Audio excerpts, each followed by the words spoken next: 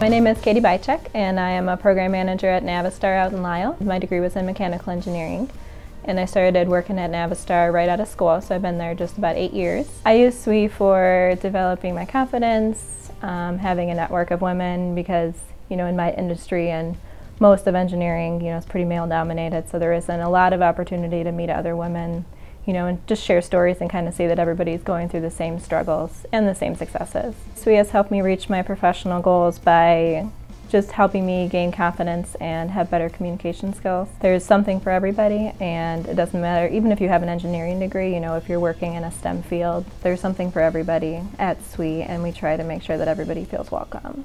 I am Katie Byczek and I am with SWE.